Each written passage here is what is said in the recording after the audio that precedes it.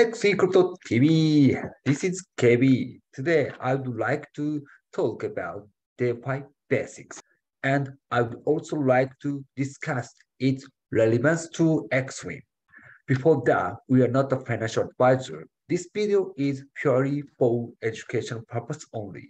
If you are new, let me introduce myself. My name is KB and I'm from Xwin Group. Xwin Group specializes in global business, charity economy, luxury services, entertainment, investment, and wealth management. Xwin Finance is a decentralized fund management platform built on BNB Smart Chain. It's one-stop DeFi protocol like mutual funds. Also, we have Toppy Marketplace NFT platform. Let's start. DeFi basics. Okay, decentralized finance study group. Let's start. Decentralized finance structure. The background is evolution of blockchain technology. Second, crypto assets, automated payments, funding. Blockchain use in the financial field is becoming a reality. Let's explain DeFi. DeFi stands for decentralized finance. Please look at this chart. It's DeFi Pulse, total value locked. It's now $38.9 billion. Last December, we have over $110 billion. Now, the market is collapsed. Okay, next. High yield in DeFi world it reflects of the amount of savings that is no intermediary. I mean, we don't need to pay fees to brokers. DeFi was overvalued, but now it's crashing. The issue, no administrators, no ability to ask the administrator to protect investors due to operational errors. Next is the problem, financial and IT literacy gaps. In other words, it's IT or financial divide. There is fight those who can benefit from blockchain technology versus those who can't. The technology should more advance. Areas acquiring future technological innovation from the user's perspective. What is the difference between DeFi and existing finance? I can say it's custodial or not. Non-custodial means having wallet and use dApps. dApps means decentralized applications. You can see this picture. It's a MetaMask. It's example of wallets. Custodial means bank manage bank accounts customers can deposit funds with the bank and entrust the bank with responsibility for the funds. On the other hand, DeFi.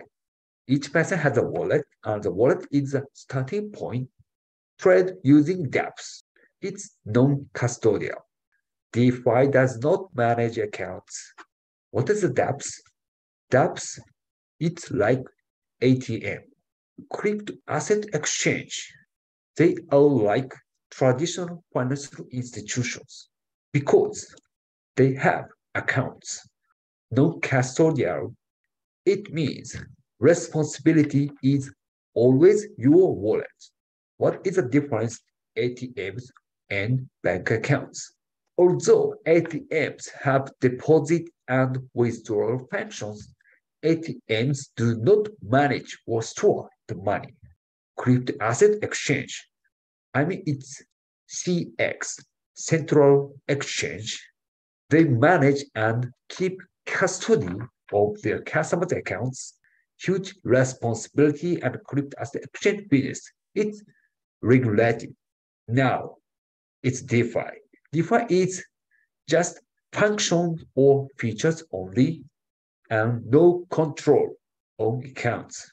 Regulators feel difficult to manage the activity. One point, Xwin is a DeFi platform and Xwin is like mutual funds, but it is not a DEX because XE has no exchange function. Wallet. What is a wallet and what is a chain? Please check later how to install MetaMask and how to connect MetaMask to Binance Smart Chain because XE is BNB Smart Chain. This is the information for MetaMask. Mainnet, its new RPC URL is like this, symbol BNB and Blockchain Explorer URL. You can use BscScan. BSC platform paid fees in BNB. So please prepare BNB token. Okay, let's talk the history of crypto and DeFi. Crypto assets, the main is Bitcoin, have a long history, but DeFi is relatively new. Bitcoin was born in 2010. DeFi dApps were born in around 2017. For example, 2017 August, the Bitcoin price was $3,000. I remember Changelly. Changelly is a kind of DEX, but a little bit different DEX. It's a one-stop place to exchange crypto assets. And also Bancor. Bancor was born in 2017. Now you can use Bancor platform. What is the purpose of DeFi? DeFi's goal is to restructure the financial system. But there are some problems, so solution for the problems with the conventional financial system. For example, savings, loans, lending, borrowing, insurance. Their functions are you can find these services on DeFi platform. You can use these services on the digital world and solution for the problems with the conventional financial system. The problem is the dependence on centrally controlled companies. What that mean? You can imagine Visa, MasterCard, PayPal, they are giant companies, but they have the right or authority to freeze accounts, block transactions, and not open accounts for people they don't like. So they have authority. And next problem for DeFi side is decentralized finance built on blockchain technology does not require KYC and has the characteristics of an open system that is resistant to censorship. Its pros and cons for DeFi. Okay, DeFi growth indicators. What is measurement of the DeFi? Growth indicators. We use total value locked. What is a total value locked? It's the amount of dollars for using platform. DeFi, its multiple dApps can be combined. Money Lego, it's a toy blocks. This is a summary of DeFi history. Early 2019, it's only 200 million US dollars. But the numbers is increasing 1.2 billion dollars from 2020 February, 86 billion dollars 2021 August, and last December 110 billion US dollars. Now, the market is crashing 39 billion dollars now. Okay, this slide is the last part. DeFi is still experimental. If it becomes mainstream, the growth potential is immeasurable. I introduce nine major categories. Number one is stable coins. Number two is lending transactions. It's totally automatic.